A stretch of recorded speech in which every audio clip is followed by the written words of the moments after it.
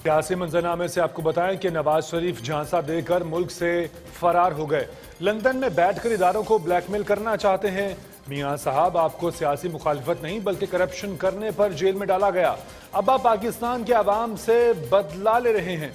इमरान खान डर है, किसी ब्लैकमेलिंग में नहीं आएगा। विफाकी वज़ीर इतलात शिबली फराज, सबक वजर अजम पर चढ़ दौड़े।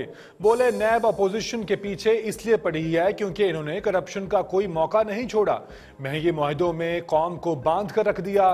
खरबों की जायदादें बनाने के बाद नवाज़ शरीफ अब नजरियाती बन गए हैं। उनके दरबारी भाषण देते फिरते हैं।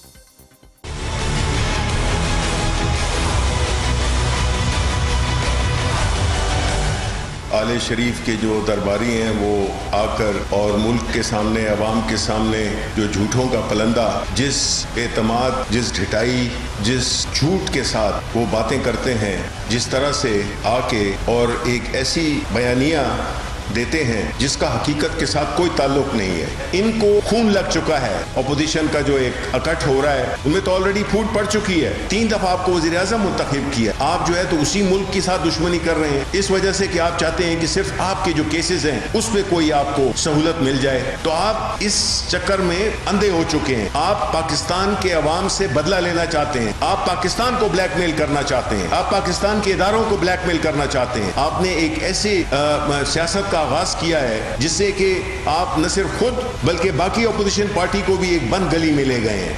को आपने खोखला किया, और आज आप बन गए चैंपियन आपकी अपनी पार्टी टूट फूट का शिकार है। आप कानून से बालातर नहीं है, आपको कानून के सामने पेश होना होगा, और आपको जवाब देने होंगे।